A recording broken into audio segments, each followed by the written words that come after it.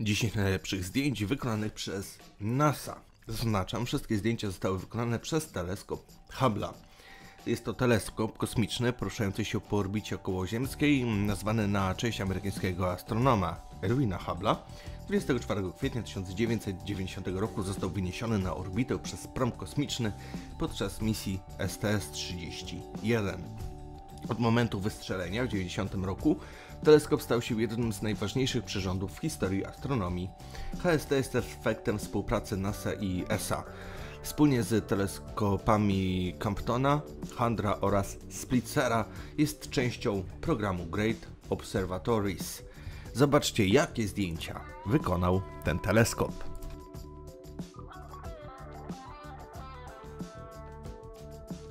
Czarna dziura. Jest to obszar czasoprzestrzeni, którego z uwagi na wpływ grawitacji nic nie może opuścić.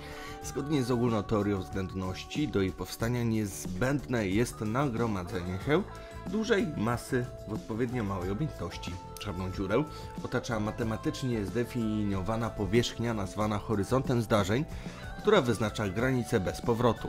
Nazywa się ją czarną, ponieważ pochłania całkowicie światło trafiające w horyzont, nie odbijając niczego, zupełnie jak ciało doskonale czarne. Mechanika kwantowa przewiduje, że czarne dziury emitują promieniowanie jako ciało doskonale czarne o niezerowej temperaturze. Temperatura ta jest odwrotnie proporcjonalna do masy czarnej dziury, co sprawia, że bardzo trudno ją zaobserwować w wypadku czarnych dziur o masie gwiazdowej bądź większych. Na zdjęciu widzicie dysk materii otaczającej czarną dziurę znajdującą się w centrum galaktyki NGC 4261 w gwiazdozbiorze Pany. Jeśli tak duży teleskop zrobił zdjęcie tak słabej jakości, to wyobraźcie sobie, jak ciężko było w ogóle zrobić to zdjęcie.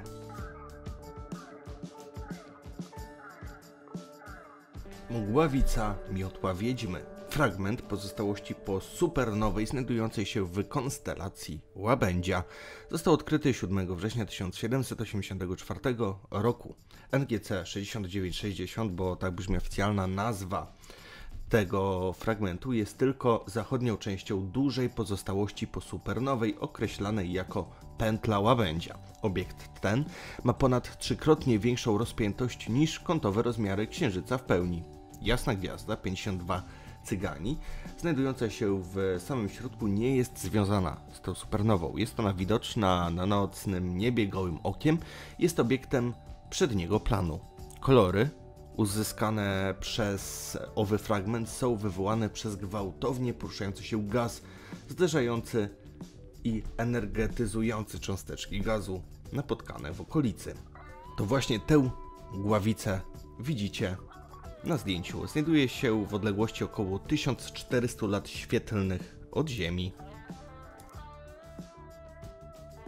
Kolejna mgławica na zdjęciu, tym razem mgławica trójlistna koniczyna. Jest to mgławica emisyjna, powiązana z gromadą otwartą, znajdującą się w gwiazdozbiorze Strzelca. Została odkryta w 1764 roku. Odległość tej mgławicy od Ziemi nie jest dokładnie znana, szacuje się ją na od 2 do 9 tysięcy lat świetlnych. Na niebie zajmuje obszar o średnicy 28 minut łukowych. Jej jasność to około 9M. Gławica to jest obszarem gwiazdotwórczym. Powiązana z nią gromada otwarta nosi oznaczenie C1759230. Jedna z najbardziej fotogenicznych mgławic na naszym niebie. Pasmo mgły o średnicy równej połowie średnicy Księżyca, przycięte na trzy części, które powodują jej wyjątkowy wygląd, który został uwzględniony w nazwie, czyli trójlistna koniczyna.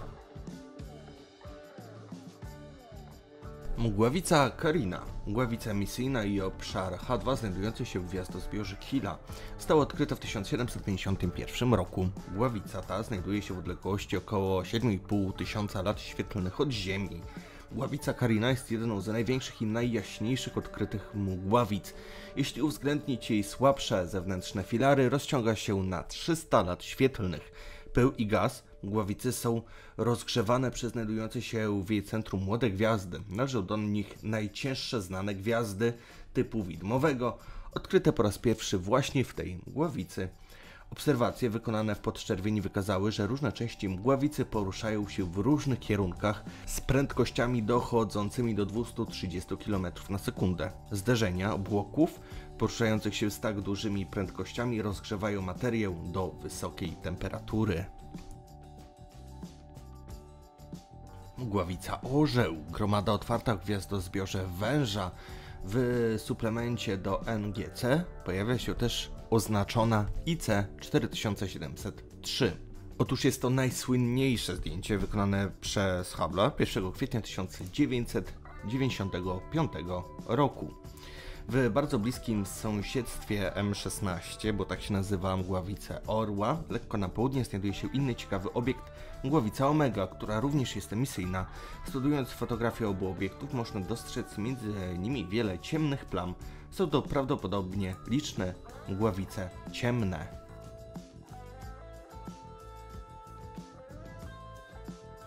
V838, gwiazda zmienna znajdująca się w gwiazdozbiorze jednorożca, została odkryta w styczniu 2002 roku przez astronoma amatora. Jest jedną z bardziej interesujących gwiazd drogi mlecznej, choć szczegóły jej natury nie zostały jeszcze do końca zrozumiane. Gwiazda ta jest położona na obrzeżach naszej galaktyki. Uważa się, że całkiem niedawno opuściła ona ciąg główny, stając się czerwonym nad olbrzymem. Zazwyczaj proces taki trwa setki lub nawet tysiące lat, jednak w wypadku V838 proces ten trwał zaledwie kilka miesięcy. W styczniu 2002 roku, gdy gwiazda ta po raz pierwszy gwałtownie pojaśniała, stała się 600 tysięcy razy jaśniejsza od Słońca. Miesiąc później zaobserwowano kolejne pojaśnienie, gdy jasność gwiazdy wzrosła w ciągu jednego dnia 10 tysięcy razy. Po raz ostatni gwiazda zwiększyła jasność w marcu 2002 roku. Na temat nietypowego zachowania gwiazdy powstało wiele teorii. Najbardziej prawdopodobną z nich i obecnie najczęściej przyjmowaną jest, że była to tak zwana nowa czerwona. Powstała w wyniku połączenia się ze sobą dwóch gwiazd. No przyznajcie, zdjęcie jest naprawdę efektowne i przypomina ikonę Firefoxa, prawda? Galaktyka Sombrero. Galaktyka położona w południowej części gwiazdozbioru Pany, tuż przy granicy z konstelacją Kruka. Otóż nazwa pochodzi od kapelusza sombrero, który wygląda jak ta galaktyka. Galaktyka sombrero ma wielkie jasne jądro, mało rozwinięte ramiona spiralne i jest częściowo przysłonięta pasem naświecającej materii, składającym się głównie z pyłu i zimnego gazu wodorowego. Galaktyka ta zawiera wiele gromad kulistych, które tworzą wokół niej sferyczne halo. Sombrero znajduje się w odległości około 300 milionów lat świetlnych. Nie jest pewne, czy należy do jakiejś grupy lub gromady galaktyk. Gławica Eskimos. Gławica planetarna położona w gwiazdozbiorze bliźniąt owalnego kształtu z jaśniejszym brzegiem. W lunecie można ją dostrzec jako plamkę. Jej rozmiary kątowe na niebie wynoszą 47 na 43 stopnie odkrył ją William Herschel w 1787 roku. Macierzysta gwiazda mgławicy ma jasność obserwowaną ponad 10,5 m, temperaturę zaś 400 tysięcy kelwinów należy do typu widmowego. Mgławica Eskimo znajduje się w odległości około 3830 lat świetlnych od Ziemi i jest to jeden z najbardziej niesamowitych widoków w całym kosmosie.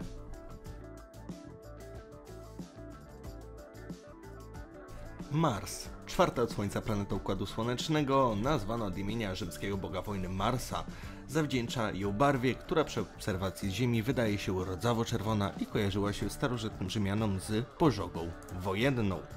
Jest to ikoniczne zdjęcie Marsa wykonane w 1999 roku. W centralnym miejscu fotografii znajduje się obszar, na którym wylądowała sonda kosmiczna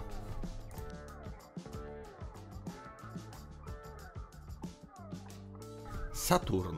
Gazowy olbrzym, szósta planeta Układu Słonecznego pod względem odległości od Słońca, druga po Jowiszu pod względem masy i wielkości. Charakterystyczną jego cechą są pierścienie, składające się głównie z lodu i w mniejszej ilości z odłamków skalnych. Inne planety olbrzymy także mają system pierścieni, ale żaden z nich nie jest tak rozległy ani tak jasny. Według danych z 2019 roku znane są 82 naturalne satelity Saturna, co czyni go liderem wśród planet z największą liczbą księżyców. Promień Saturna jest około 9 razy większy od promienia Ziemi. Dodatkowo posiada bardzo charakterystyczne cztery księżyce. I właśnie 24 lutego 2009 roku kosmiczny teleskop Hubble zarejestrował niezwykłe ujęcie czterech księżyców Saturna przechodzących przez jego tarczę lub w pobliżu niej, w tym największego z nich, Tytana. Dzięki za obejrzenie do końca. Mam nadzieję, że ten odcinek Wam się podobał. Dajcie znać w komentarzu, o czym chcecie kolejną dyszkę i zapraszam Was na moje dwa pozostałe kanały. Światowa historia oraz światowa kultura. Trzymajcie się. Cześć.